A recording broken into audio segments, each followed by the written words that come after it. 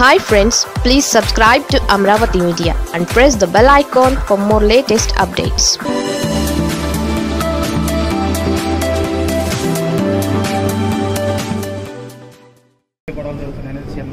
ఖచ్చితంగా అండి. ఈరోజు ఏ సంక్షేమ పథకం ఇవ్వకుండా ముందైనా ఏదో ఒకటి.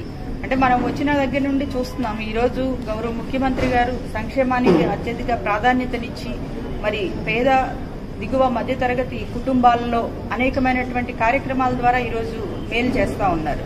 మరి ఏదో ఒక విద్వేషాన్ని చిమ్మాలి అని చెప్పేసి ఒకసారి గుళ్ళు అంటారు ఇంకొకసారి దళితుల మీద దాడులు అంటారు ఇంకొకసారి మహిళల మీద దాడులు. ఇలా రకరకాల ఏదో ఒకటి చెప్పేది కాకుండా మరి నిన్న మాట్లాడినటువంటి మాటలు చూస్తే మరి నిజంగా చాలా బాధాకరంగా ఉంది.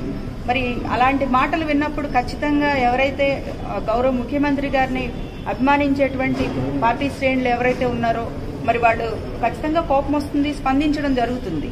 కానీ అనేటప్పుడు మరి అలాంటి భాష మాట్లాడొద్దని వాళ్ళ పార్టీ అధ్యక్షుడు వాళ్ళని ఒక్కసారైనా హెచ్చరించినటువంటి దాఖలల్ని ఇందాక ముఖ్యమంత్రి గారు అన్నారు. మరి ఆయన ప్రతిపక్ష నాయకుడిగా ఉన్నప్పుడు ఎప్పుడు అలాంటి మాటలు వాడింది లేదు. ఇక ముందు కూడా ఆయన ఎప్పుడు కూడా అలాంటి భాష వాడబోదు.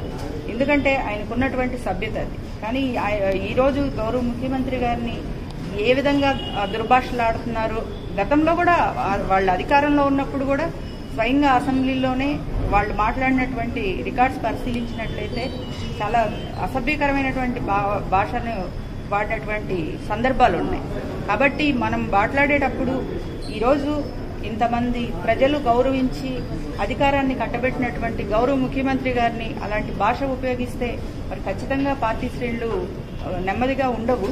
కానీ విధ్వంసం అన్నది ఎవరు కావాలని కోరుకోం. కానీ మనం మాట్లాడేటప్పుడు దాన్ని భాషను మనం కంట్రోల్ చేసుకోకపోతే మాత్రం ఇలాంటి పరిణామాలు ఖచ్చితంగా జరుగుతాయని కూడా తెలియజేస్తాం.